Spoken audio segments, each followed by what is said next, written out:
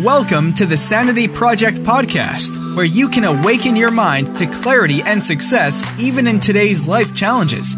We're here to provide insights and solutions that will help you live a sane, healthy, and prosperous life. Here's your host, Joanne Victoria. Hello, everybody. This is Joanne Victoria with another amazing episode of the Sanity Project podcast. You are here to discover a life of clarity confidence, sanity, and entrepreneurial success. And I have a gift for you today. And her name is Oz Benari. And it's a she, yes. And she's talk, going to talk about starting from scratch, managing change like your career depends on it. And Oz is a seasoned product management executive skilled in leading and upskilling high performing teams with a strategic mindset, strong communication, storytelling skills, and a focus on continuous improvement. She held senior product management roles at WeWork and Diligent, managing in complex product lines, driving audience growth, and launching successful product led organizations.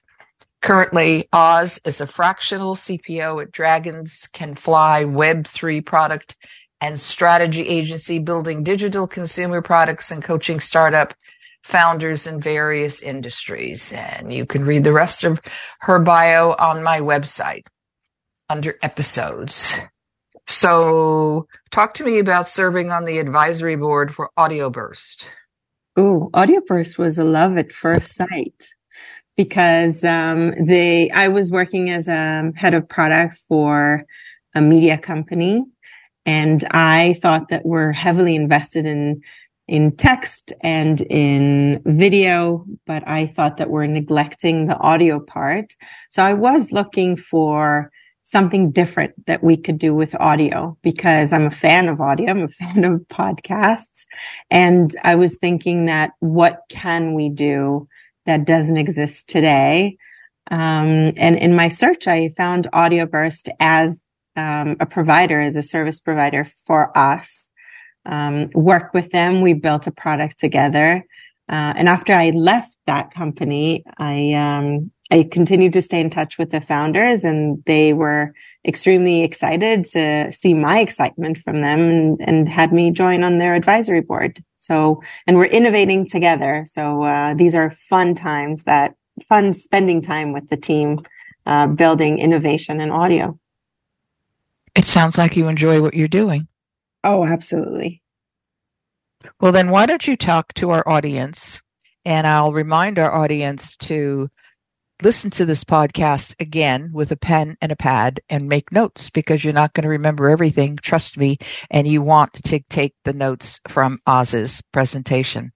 So starting from scratch is the Amazon bestseller. And I'm gathering since you have this website called starting from scratch the thebook.com and you're going to pr- be presenting the model that you write about in the book. Is that correct? Yeah. And okay. uh, because it's a it's a short one, um, what I would like is so the book is written as the six step model to managing change and how to prepare for change, but also grow when change is either coming your way or you want to plan one uh, in your career. And what I wanted to convey in the book is that I'm not special. The fact that I changed many times and I feel like I thrived after it, it's not it's not, I'm not special in any way. I interviewed 200 people while writing the book and all of them followed um, in their way, not even knowing organically, they followed the six steps model. And these are tools that some of you might use and some of you might forget. Um, but these always come handy when change comes your way. Um, so the tools are learning, having a learning mindset. So being open to learning new things and being exposed to things. And, you know, you're doing it right now by listening to this podcast. So, but creating a habit of learning new things and reading newsletters and books and attending courses and really investing in learning what changes are around you and how they might affect you in your career or open opportunities.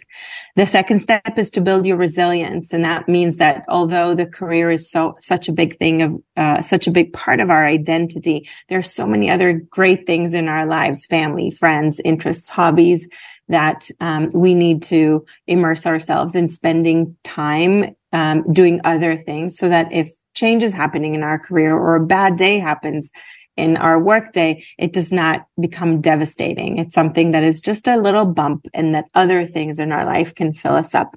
The third one is to build relationship and network and to um, make sure that you stay in touch with ex peers and ex managers and leave on a high note wherever you go. Um, and not burn bridges because these are the people that know you from work and know you in a career setting and help you grow and advance. And then the last three steps are having a role model and doesn't have to be a specific person, but it can be like a, like a potato head, a combination of multiple people that you admire or experiences that you want to have or people that you want to have part of their life or career to build that role model for yourself. And then the fifth step is to work towards them, unpack who that role model is. What do they know? What are their habits? What are their day to day? Who's in their network and really try to copy that and build your own role model so that you are your own role model and you're excited to do that. And after we worked so hard preparing for change and growing in change, packing the baggage is such an important exercise to see every experience that we have as something that is positive, that equipped us to be where we are and what we're doing next.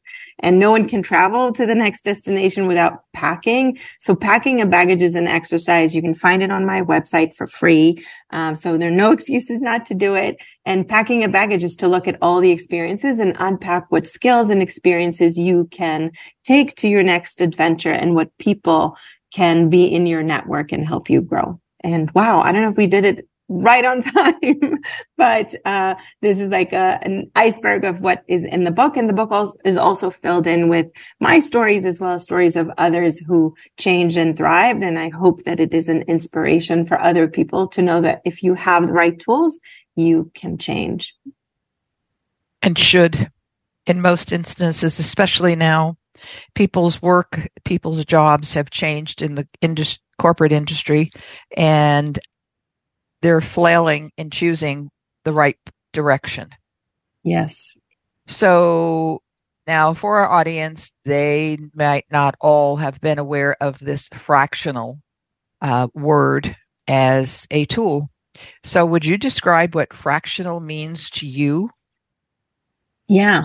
So, um, just for context, we were you, earlier when you introduced you introduced me, you said that I'm a fractional CPO. So, um, I'm a chief product officer at multiple companies, and being fractional, unlike a consultant, means that you join a company and you do it um, in a fractional way. So that means like 50%, 40%, 90%, whatever the number of days or hours you and the other company choose to do it. But you do a job as if you're one of the team members.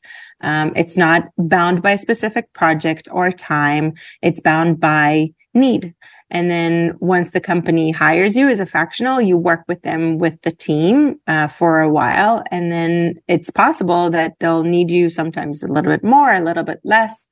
Um, but it's a very good agreement for people who are either in transition or for companies that um, need a specific support or assistance in a, in a specific area in the company, but they uh, either don't need it full time or they can't afford someone experienced full time. So you could do it uh, part time. Uh, so it's a it's a really good win-win situation where experienced people can come and help companies, but also companies can afford hiring these super expensive um, individuals, and they can thrive in supporting multiple companies at the same time. I think it's an amazing concept because, excuse me, edit that out. Uh, it's an amazing concept because, as you say, f- for a period of time, they can't afford someone full time. So they use you for 40, 50%, 60%, something like that. Use you or someone like you in that role, and they still get what they need to get. Exactly. And in, in, uh, several of my clients, what I've done is I've joined, built a team or recovered a team, you know, kind of restructured the team to uh, be more um, efficient and effective. Um, and then either hired someone in my position or um, hired um, the right team as a kind of structure. And then I moved on. So um, it is a way for also companies to have like this trusted, experienced person that comes from the specific practice to choose a team because sometimes you know, hiring managers or CEOs are not necessarily equipped or knowledgeable to hire a specific profession. And for them to bring someone that either is not interested in a full time or um, they can't afford, but they can come with their experience to build that practice instead of them. Um, how long so is how long is excuse me how long is that this concept of fractional of XXX been around that you're aware uh, of? So I so I think there are various. I heard of it in the last couple of years, mm-hmm. um, but I think there are various names for it. So some people um, also also name it um, portfolio to have a portfolio company and that means that you have multiple streams of income the difference between a portfolio and a fractional is that it's possible for example um, like me um, i have part of my career or part of the way i'm making money is by being a fractional CPO, but I also do speaking engagements and workshops on behalf of my book. Um, so I have a portfolio uh, career because I can do multiple things. But um, previously, um, portfolio was also used for in case you do the same job for several companies. And the difference between being a consultant and a fractional is that usually a consultant will come from an outside, will behave as an outsider will either be appointed to a project or a team and it's bound by kind of start and end date. And fractional is really being part of the team. Um, you don't know necessarily when this person will uh, will leave. Um, it, they just don't work full time yeah, I'm I'm I'm enthralled with the word and the and the purpose of the word and how you make it work in companies that you you know you want to be at because this timing here, you know, post COVID, et cetera, is um, things have changed. Work titles have changed. Work businesses have changed. And for you to be able to go into this where you have opportunities to just, you know, okay, come in and do this chore, whatever, we'll name it a chore for today. And, you know, you work with this team on this project and then you're, you know, you start at 60%, then you go down to 10% because that's the way it usually works anyway. No mm-hmm. matter, you know, it, it's never 100%, 100% of the time. Yeah. And I think it's an amazing opportunity. So, for example, one of the things I wanted is to dab into new technologies and, um, in Web3 specifically. So when I started a year ago, Web3 companies were not um, very well funded and they were very early stage. So they did need a CPO, but they um, they didn't need it full time. Um, it was a, you know, sometimes even the whole team was working part time on an idea, uh, or that they couldn't afford someone to work full time, but they didn't notice that they needed. And um, doing a fractional work allowed me to immerse myself into um, you know, new technologies and new ways of doing things, which is extremely exciting for me. But I could not find a full time job. So I feel that was a win win where, mm-hmm. you know, it was an interesting place for me, but also the way and the model that worked for the hiring manager. Very interesting. You can tell yeah. that I'm very excited about this. Yeah. And there are fractional CMOs and fractional CFOs and COOs. Um, so there are all of them and there are several communities that, uh, both teach people how to be fractional. We share uh, agreements and contracts and best practices and we hire each other because um, I mentioned to you before we started to record is that know, one of my clients is actually, I was actually brought by someone who's a fractional CFO.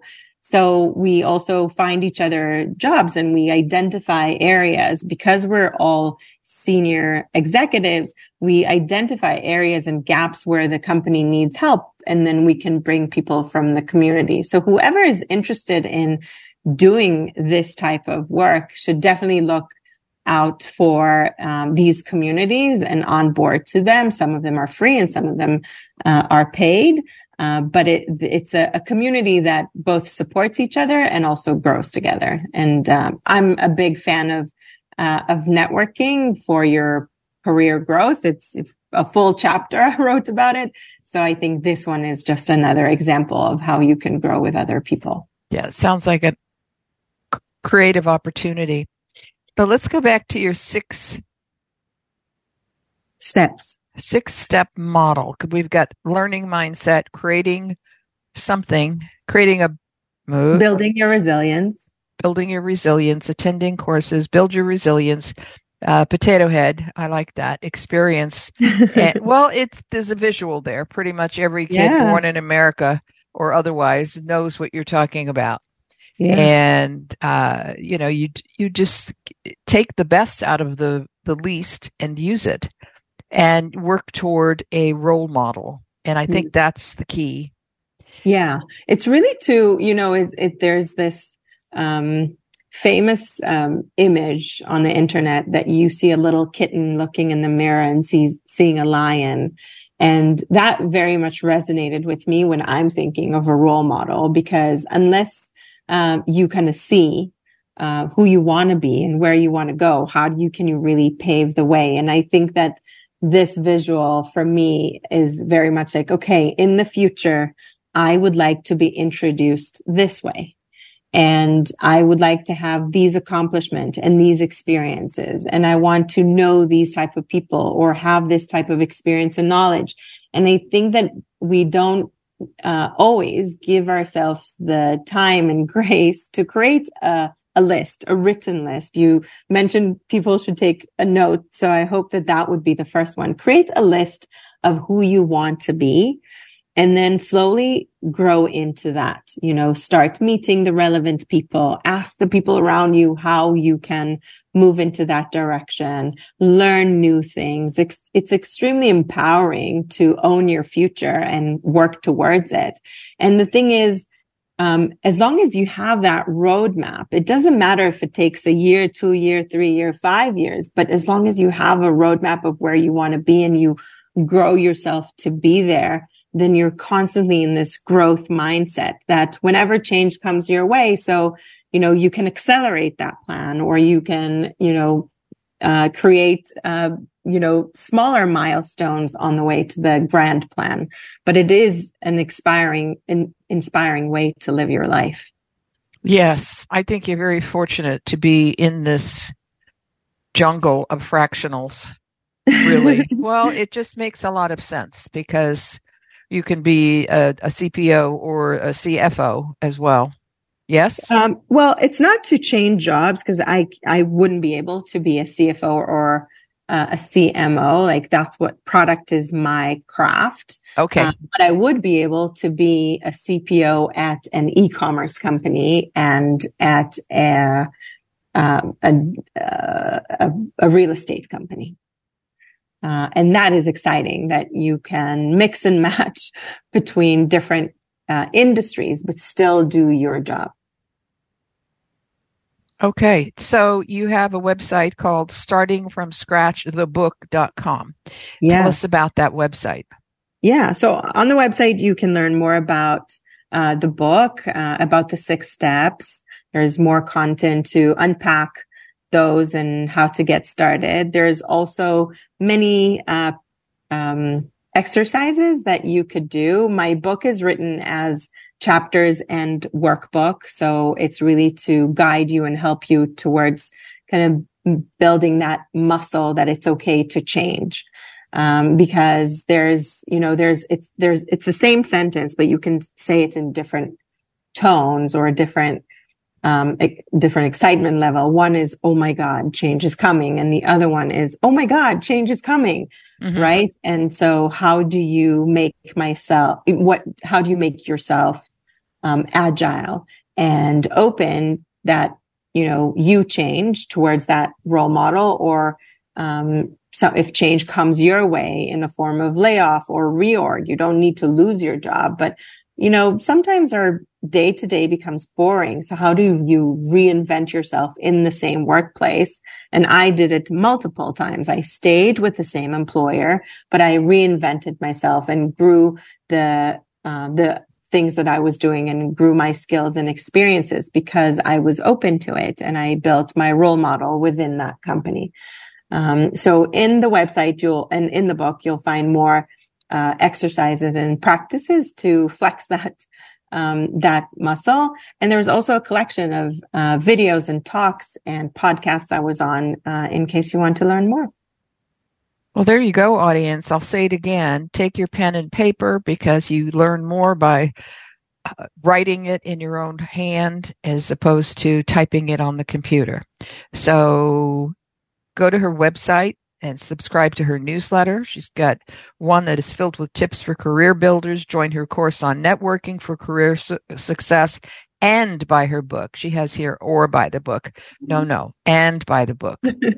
and I think that um, I think that once you listen to the podcast and then check the website and then buy the book, um, is it a standard 200 pages. Yeah, okay. 220 pages. Exactly. There we go. 120. Yes. 110 times two. And just get the book, follow everything that you need to follow because this is a new, interesting way for those of you who are number one, easily bored.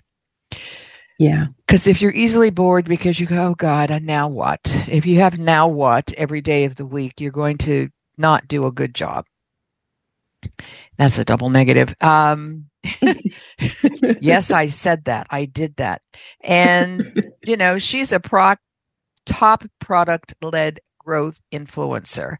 And we're not talking TikTok here, people. We're talking the real world. And I think that you would in- appreciate Oz Bernari. So remember that.